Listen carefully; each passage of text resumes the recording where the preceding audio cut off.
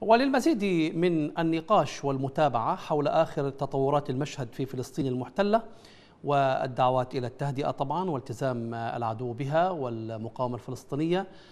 معنا من الخليل عبر سكايب الدكتور عماد البشتاوي رئيس قسم العلوم السياسية بجامعة الخليل. دكتور عماد مرحبا بك معنا. أهلا بكم. مساء الخير. مساء الخير. دكتور هذه معركة مختلفة عن المواجهات السابقة على ما يبدو. في البداية اختلفت منذ البداية وفي سياقاتها واستمرارها لأحد عشر يوما كانت تحمل الكثير من الدلالات العسكرية والسياسية والإعلامية. وأيضا في نهايتها كانت مختلفة عن المواجهات السابقة. وقف إطلاق نار متبادل بدون التزام بأية شروط من الطرفين بين قوسين. كيف تابعتم آه، هذه مجريات هذه المواجهة وبماذا تعلقون؟ آه، ما تفضلتم به صحيح. آه، بالفعل ما جرى من أحداث سنة 2021 الأحداث الأخيرة العدوان الإسرائيلي على قطاع غزة. لمدة 11 يوم يختلف عن جميع العدوانات السابقة التي شنتها إسرائيل على غزة وعلى فلسطين. يختلف من حيث الظروف ويختلف من حيث طبيعة الرد يختلف من حيث النتائج والمآلات اللي ممكن نتطرق لها بشكل أو بآخر. بمعنى أنه ما يحدث أو ما حدث في الأيام القليلة الماضية أثبت ولأول مرة وبشكل واضح آه، وحدوية الشعب الفلسطيني هوية الشعب الفلسطيني في داخل في الداخل في الضفة الغربية والقدس وفي قطاع غزة بالإضافة للالتحام شعبنا في الخارج وتفاعله ولمسنا وشاهدنا ليلة أمس احتفالات في مخيمات الفلسطينيين في لبنان وفي الأردن.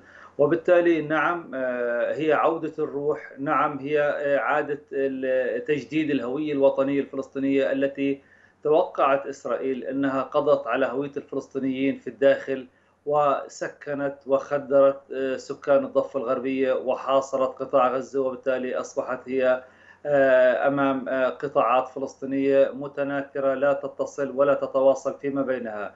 نعم. الهبه الأخيرة أثبتت عكس ذلك كليا أثبتت تلاحم الشعب الفلسطيني في مختلف آه، نواحيه، هذا الجانب دكتور, اللي دكتور الجانب المهم سياسيا هو كيف يمكن استثمار ذلك؟ نحن نعرف أن آه، أن لدينا مشكلة آه، لدى الشعب الفلسطيني مشكلة في استثمار مواجهاته مع الاحتلال في هذه المرة كانت فلسطين كلها تقاوم الاحتلال هل يمكن الاستثمار السياسي والاستفادة سياسيا من هذه المواجهة؟ نتمنى أنه نعم مع أنه واحد من الناس اللي أنا مخاوفي كبيرة في هذا الموضوع نظرا لتجارب الشعب الفلسطيني الممتدة على مدار قرن من الزمان. الشعب الفلسطيني خاض نضالات في هذه السنة تقريبا نتحدث عن أكثر من 100 عام نضال ضد سواء كان الانتداب البريطاني في البداية ثم الاحتلال الصهيوني في النهاية. والشعب الفلسطيني قدم تضحيات هائلة بالنسبة لعدد سكانه. وابتكر أساليب نضالية من الإضراب الكبير أو الشامل سنة 36 والثورة والثورة المسلحة ثم الكفاح المسلح اللي قامت به منظمة التحرير ثم الانتفاضة الأولى انتفاضة الحجارة ثم الانتفاضة الثانية المؤسف أنه جميع أشكال النضال التي خضناها سابقا توجت بنتائج سياسية عكسية وهذا اللي نعم. يثير عنا نوع من المخاوف أنه هذه أو هذا الإبداع اللي قام فيه شعبنا الفلسطيني ومقاومتنا الفلسطينية الباسلة في الأيام الماضية نتمنى أن يتوج بجهد سياسي نتمنى أن يتوج بوحدة وطنية حقيقية لكن قراءتنا للمشهد الفلسطيني وأنا واحد من الناس اللي بقرأ المشهد بشكل واقعي آه، آه، ما ألمسه لحد الآن أنه لن نشهد تغير في الواقع السياسي فيما يتعلق على الأقل بالنخبة السياسية الحاكمة والقيادة السياسية.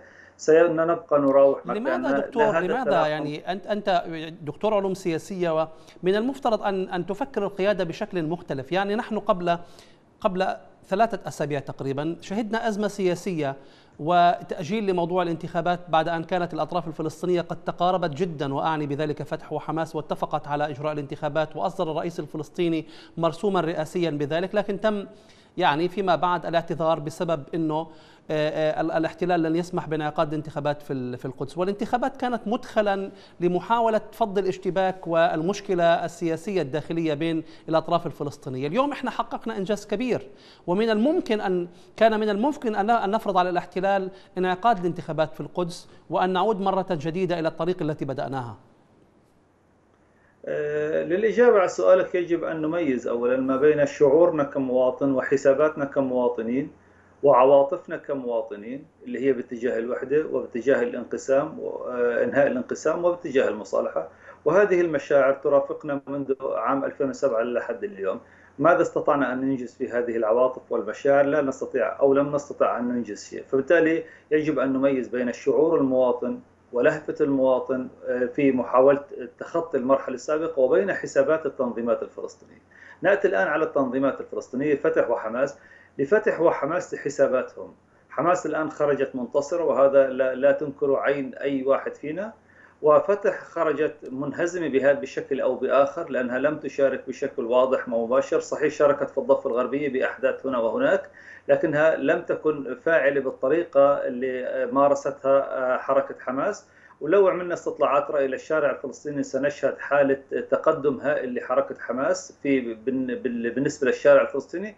وتراجع واضح لحركة فتح لأنها لم يشعر الشارع أن حركة فتح الآن قامت بما هو مطلوب منها بالطريقة اللي وبالتالي من هنا عندما نأتي على هذه الحسابات نقول بأن حركة فتح الآن لا تستطيع أن تقدم على حكومة وحده وطنية، لا تستطيع أن تقدم على انتخابات، لأنه نتيجة الانتخابات إذا جرت الآن في خلال الأسابيع القادمة والأشهر القادمة حتمية نعم. خسارة نعم. حركة فتح الآن أنا كحركة أو أنا كتنظيم هل من الممكن أن أقدم على على انتخابات ونتيجة الخسارة واضحة وبينة؟ لا يمكن. إذا هناك هناك هناك من الواضح حالة استفراد بالحالة الفلسطينية آه، من قبل حركة فتح والسلطة للأسف الشديد دعنا نعود إلى صلب الموضوع. يبدو أن هناك آثار واضحة على على المدى القصير والبعيد نتيجة هذه المواجهة وهذه الآثار ستكون خاصة بغزة وبحركة حماس تحديدا لأنه سمعنا عن حديث أوروبي من بعض المسؤولين وبعض الدول إنه يعني آه، يجب أن يكون هناك تفكير بفتح قنوات والحديث مع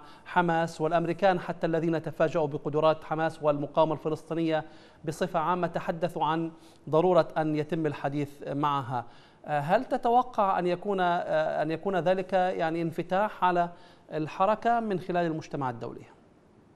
انفتاح نعم وهذا يؤكد الكلام اللي ذكرت لك إياه. الآن مجرد الحديث بهذه الطريقة يجعل استحالة تحقيق وحدة وطنية فلسطينية يجعل استحالة عندما يتحدث الأوروبيين أنه حماس هي التي سنتفاوض معها حماس هي الرقم الصعب هي حماس بيدها مفاتيح الحرب والسلام. الآن أين موقع حركة فتح؟ وأين موقع الرئيس أبو مازن في هذه المرحلة السابقة؟ إذا هذا يؤلب الفلسطيني على الفلسطيني هذا يؤلب فتح على حركة حماس وهذا يبعدنا عن بعضنا البعض كتنظيمين رئيسيين. يفترض أن نقدم على الوحدة الوطنية. يعني الآن عندما تتحرك حماس الآن وتمارس نعم حماس قدمت وحماس قاومت وحماس أثبتت وجودها.